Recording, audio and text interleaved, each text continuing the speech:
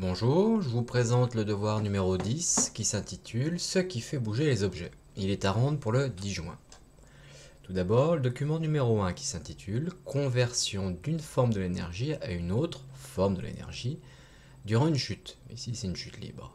Donc nous voyons à gauche de la page une boule de pétanque, donc une balle en acier qu'on lâche et on observe que c'est une chronophotographie, c'est-à-dire qu'on a pris une photographie toutes les 0,11 secondes.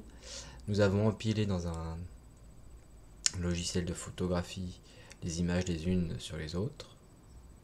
Et nous obtenons donc cette chronophotographie avec une, deux, trois, quatre et cinq positions de la balle en acier. On laisse tomber une balle en acier, on prend les photos toutes les 0,11 secondes et nous avons déjà vu que son énergie de pesanteur, c'est-à-dire l'énergie qu'elle possède du fait de sa hauteur, qu'elle a en sa première position, lui permet de faire un trou dans l'argile ou à l'atterri. Donc ça, ça a déjà été vu. Cette fois-ci, on va s'intéresser à la vitesse de cette balle qui tombe. Question 1. Quelle information sur la vitesse de la balle nous donne l'augmentation de l'écart entre les positions de la balle? Donc on voit ici qu'il y a un petit écart entre la position 1 et la position 2. L'écart entre la 2 et la 3 est ici, l'écart entre la 3 et la 4 est ici, et l'écart entre la 4 et la dernière position est là. Donc, ces écarts entre les positions augmentent-ils, diminuent-ils ou restent-ils tout le temps les mêmes? Suivant la réponse que, vous pouvez donner à cette question, vous pouvez me dire si la vitesse augmente, diminue ou reste constante. Vous pouvez faire pause le temps de répondre à la question 1. Question numéro 2. Pendant cette chute, donc on sait que l'énergie de pesanteur du départ qui est dans la balle ici, en hauteur, est transformé petit à petit, pendant la chute, en énergie de mouvement, qu'on appelle énergie cinétique. Expliquer en quoi cette photographie illustre cette affirmation. Question 3. À l'atterrissage dans l'argile. Quand la balle tombe dans l'argile. L'argile, c'est une terre souple, meuble et un peu élastique qui peut se déformer et qui sert à faire des sculptures par exemple. Donc on a laissé tomber cette balle en acier dans l'argile, il y a fait un trou. Donc à l'atterrissage dans l'argile, quelle forme de l'énergie la balle donne-t-elle à l'argile? Elle arrive avec une énergie, ici, à cette position-là. Donc la balle était pleine d'énergie cinétique ou bien était-elle pleine d'énergie de pesanteur? Vous pouvez faire pause, le temps de répondre à la question. Document numéro 2. Autre manière d'expliquer la chute. On va voir ce que c'est que la gravitation. On peut aussi dire que la Terre attire la balle vers elle. En fait, les deux s'attirent mutuellement. La gravitation, c'est ce qu'on appelle une interaction. Chacun des deux objets s'attire mutuellement. Et comme elle se fait sans qu'ils se touchent, on la nomme interaction à distance. Donc le mot interaction veut dire que la balle interagit sur la Terre, la Terre interagit sur la balle, c'est mutuel. Ça se fait à distance, Là, la balle jamais ne touche la Terre, mais à chaque fois elle est attirée vers la Terre.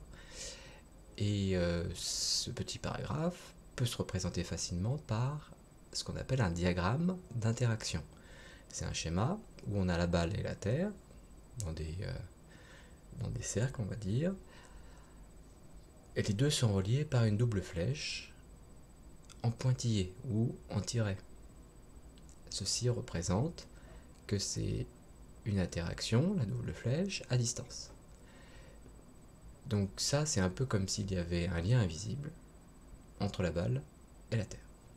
Question 4. À ton avis, si la Terre est aussi attirée par la balle, pourquoi est-ce que c'est la balle qui bouge et pourquoi c'est pas la Terre qui bouge? Vous pouvez faire pause, le temps de répondre à la question. Question 5. Donnez un autre exemple où un objet est attiré par la Terre. Vous pouvez faire pause, le temps de répondre à la question. Donc le lien entre énergie et gravitation sera vu dans les classes supérieures. C'est pas du tout du niveau de quatrième. Question 6. Dans la photographie de gauche, celle-là, la petite, la balle est encore en interaction avec la Terre. Bah oui, on est dans une pièce sur la planète Terre. Tout ce qui est sur la Terre est attiré par la Terre. Mais pourquoi donc cette balle ne bouge plus alors qu'elle est encore attirée par la Terre? Vous pouvez faire pause le temps de répondre à la question. Lorsque deux objets se touchent, on parle d'interaction de contact. Toujours interaction, c'est mutuel, l'un sur l'autre. De contact, ça veut dire qu'ils se touchent. Ainsi, dans le cas précédent, ici la balle et l'argile, on peut faire un diagramme d'interaction du type balle, argile, et une double flèche qui montre l'interaction, double flèche, mais cette fois-ci en très plein. Question 7. Dans un diagramme d'interaction, comment est-ce qu'on dessine, comment est-ce qu'on représente une interaction à distance et comment est-ce qu'on représente une interaction de contact? Donc évidemment, comparez les deux diagrammes que je vous ai donnés et vous pourrez facilement répondre à la question. Vous pouvez faire pause le temps d'écrire votre réponse. Document 3, on va vous parler de la Lune.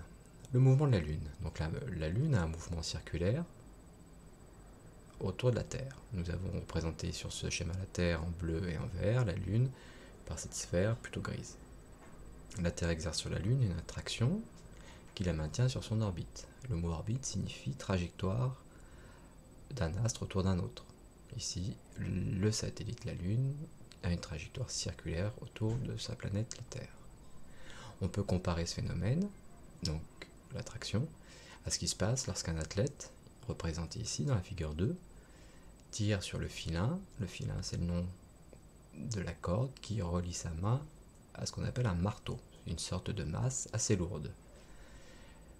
Donc il fait tourner la masse autour de lui et pour pas qu'elle s'échappe, il tient la ficelle, il tient le filin.